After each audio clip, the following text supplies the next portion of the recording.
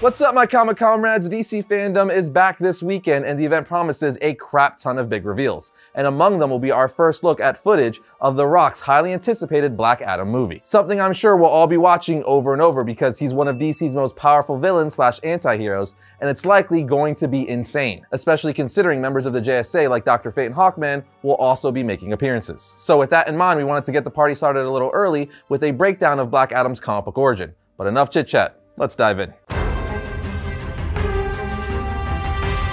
Black Adam first appeared in the Marvel Family issue 1 in December of 1945. He was created by Otto Binder and CC Beck. Now there have been a few different retellings of Black Adam's origin over the years, but we're going to be focusing on his Geoff Johns origin given to us in Shazam Volume 1 from the New 52. Shazam's DCEU origin was heavily inspired from this comic, so one would assume Black Adam's DCEU origin will heavily pull from it as well, which is one of the main reasons we're focusing on this one. That and it's just downright good. Anyway, in Shazam Volume 1, after Billy has been bestowed his powers by the Great Wizard Shazam, we see him talking to Francesca, who's a magical mirror being residing in the Rock of Eternity that assists Shazam as needed. And only Shazam can see and hear. Well, that's kind of a lie because Metron can too, but they're the only two. We see him talking to Francesca saying, look, I need to get back to see if the wizard is still alive. If he is, he can take these powers back and give them to someone who knows what they're doing. Francesca tells them, even if he were still alive, once the wizard bestows the connection to the living lightning, it cannot be severed. That's why Black Adam still holds the power. That's why you are the only one left to stop him. Billy asks, well, who the hell is he anyway? What does he want? Francesca tells him, look deeply into the mirror and I'll show you. We are then brought back in time where Billy says, where are we? She tells him, it's not where we are, Billy Batson, it's what you see. And what you see is the ancient world, the country of Kahndaq, birthplace of the living lightning and the wizard who bestowed your powers upon you. It was years after the wizard had escaped Kahndaq's brutality. If he had stayed, he would have been enslaved as this boy was. A boy among thousands of other men, women, and children, who had been captured by the invading forces of the barbaric Ibak and his evil army, the men who invented evil. For months, this boy was among the many sent down into the caves to work. When he collapsed because of the heat or exhaustion, he suffered at the hands of Ibak's men. Many times he wished himself dead. He closed his eyes and wished for help. And finally, help came, as we see him bash the back of one of Ibak's men's head in with a rock. The man then goes over to the boy saying, Amon, have I finally found you? The boy answers, Uncle, where are mother and father? The uncle looks at his nephew saying, I'm sorry, my sister and your father, they are, and before he could say dead, one of Ibak's men stabs him in the side. But the boy's uncle turns around and starts fighting the man, telling his nephew, run Amon, go. Francesca continues to say the boy's uncle had given a young slave an opportunity to escape, but the boy stayed with his dying uncle, telling his uncle, I will not leave you. His uncle says they are coming, and I have led us to nowhere. I am sorry, the gods have abandoned Kahndaq and us. And at that very moment, lightning strikes both of them. And then on the next page, we see the boy appear at the Rock of Eternity, where the wizard says, hello child. At this point, Billy says, a kid like me? No wonder the wizard didn't want me to have these powers. As he runs out to confront Black Adam saying, I saw what you went through, Adam. I thought I had it bad, but you had it worse. I know why you're lashing out at people. You want to hurt them before they can hurt you. And I know why you're angry, because you're trying to hide how scared you really are. Black Adam then grabs Billy by the mouth saying, you think I'm scared? You don't know anything. You speak of anger and fear? You dare confront me about such things? You are foolish. You are a foolish little child. Why would the wizard ever choose you? He should have learned his lesson. It would have saved your life, as Black Adam uses his powers to finish telling Billy the rest of his origin. We are then taken back to the Rock of Eternity where the wizard tells Amon, we are the Council of Eternity. Amon, you are within the Rock of Eternity. Black Adam then asks Billy, do you see the Rock of Eternity as it once was? A fortress invisible to the world, a nexus of the magic realms, which all sorcerers and sorceresses made pilgrimage. And a boy had been summoned there. Each member of the council chose someone to be their champion. He was to be the wizards. We then see as the wizard is talking to the boy, a voice says, Amon. He then turns around and sees his uncle and runs over to him. Black Adam then says the wizard had given the boy a proposal. The boy gave one back to him. As we see the boy ask, you must save him, wizard, please. He's the only family I have left. The wizard then tells him, your power may flow through family, Amon. Accept my blessing and you may save him. Both of you speak my name and be my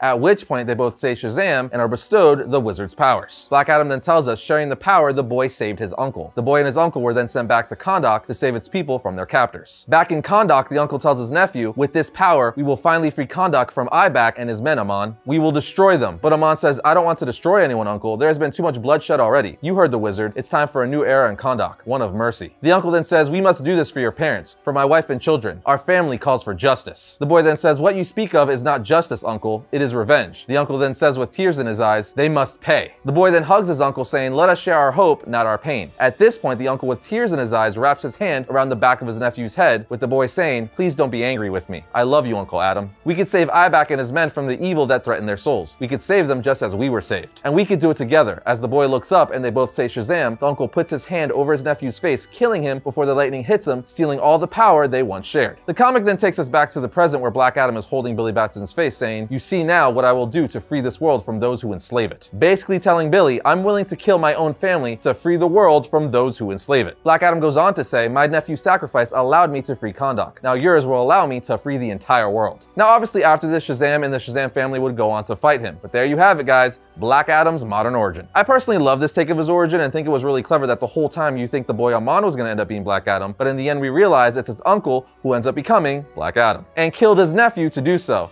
So if The Rock's Black Adam origin is anything like this, we're going to be off to a great start. Now, normally we give you guys a brief rundown of the character's powers and abilities in our Origins episode, but with the Black Adam movie coming so soon, we'll be doing a full-on history of episode for Black Adam around the release of the film, which is likely going to be massive. In the meantime, here are some reading recommendations to hold you over until then.